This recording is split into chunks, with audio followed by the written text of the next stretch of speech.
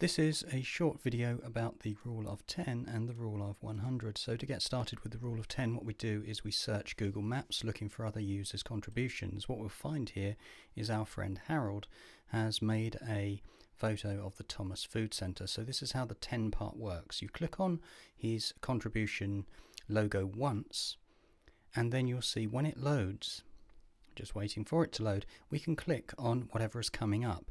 Now, by clicking first, we see one image, and the rule of 10 comes in where we've got one, two, and I'll just go count them with you. Ready?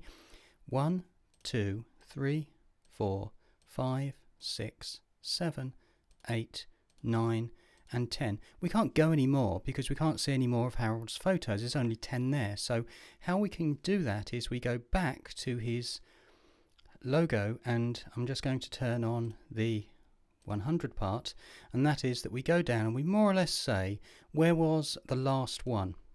So for an example if I dial through so one two three four five six seven I think it was the ice cream wasn't it? And there's the ice cream. So what we do after that is we click on the next photo.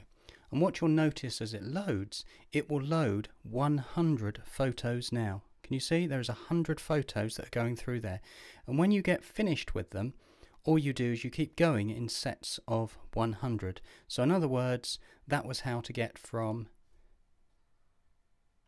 10 and to 100 with other people's contributions on local guides maps